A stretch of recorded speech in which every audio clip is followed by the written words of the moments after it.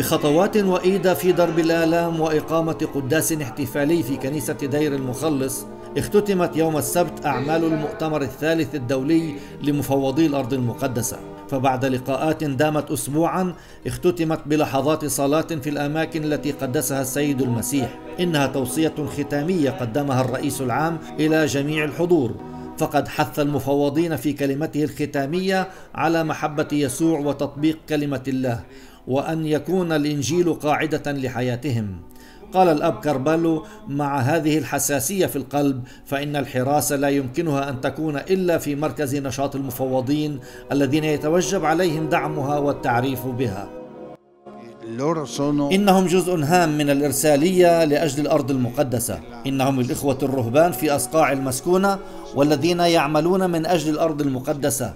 أريد أن أقدم لهم الشكر الجزيل من أعماق القلب لقاء الأعمال التي يقومون بها من أجل لؤلؤة الإرساليات. أيها الحراس افتحوا أبواب مناطقكم وحراساتكم.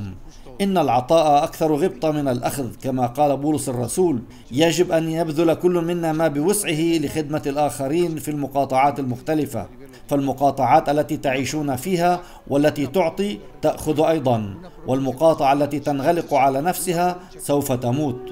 كان في مركز الأعمال دور ومهمة للإخوة الأصاغر في خدمة الأرض المقدسة. وواجب الإعلام في إعلاء شأن الأماكن المقدسة وأهمية العلاقات مع الأبرشيات والجماعات الكنسية العالمية. هذه المواضيع التي تطرق إليها الملخص الختامي كمشروع للرئيس العام. علبة يجب ملؤها وإتمام محتوياتها وتنظيمها.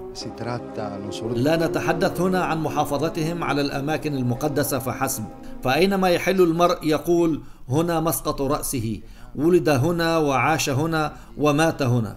وبالتالي تتمتع هذه الأماكن بخاصية مميزة ولكن من رسالتهم كذلك الحفاظ على تلك الحجارة الحية والتي هي الجماعة المسيحية التي تحاول بذل جهودها للبقاء هنا وتكثيف وجودها وإيمانها.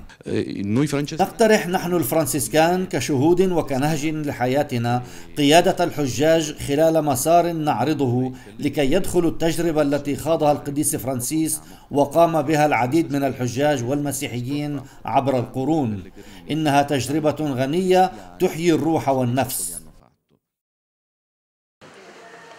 بطريقة ما أصبح هؤلاء حجاجا عندما تجمعوا بعد ظهر الجمعة ليسيروا في درب الصليب.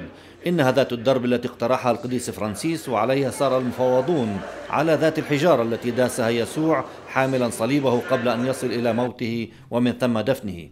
في صباح السبت أقيم القداس في دير المخلص وترأسه الرئيس العام وحارس الأراضي المقدسة.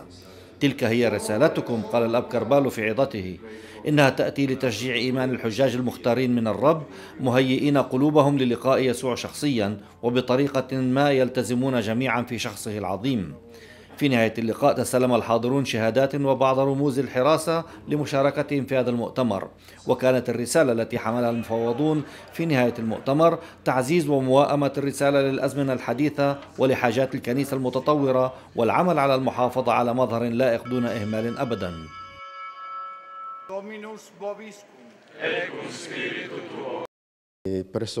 إننا في مركز المفوضية في كاركوفيا وفي مزار القديس كيزيميرو نحتفل بالقداس مع إخوتنا الرهبان وأصدقاء الأرض المقدسة من أجل الحراسة ومن أجل السلام في الشرق الأوسط.